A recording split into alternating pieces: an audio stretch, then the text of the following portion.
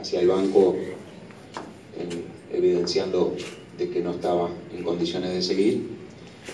En el entretiempo se lo atendió, pero seguramente habrá, va a haber que esperar al día de mañana para el diagnóstico. Eh, indudablemente que no, que no estaba en condiciones de, de, seguir pese al esfuerzo. Sabemos que él siempre entrega el 100 hasta, hasta lo último, pero hoy lamentablemente tuvo que, que abandonar. Javier Ruiz, ¿Cómo le va, profesor? Buenas noches.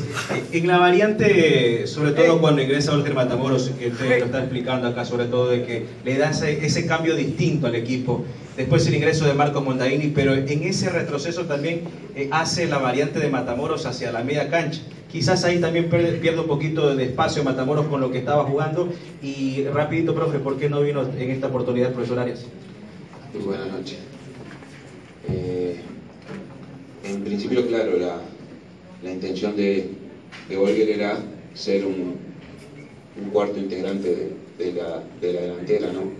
tratar de encontrar ese espacio, eh, buscarlo como para, el desequilibrio. Él entró ahí por derecha en la, jugada del gol.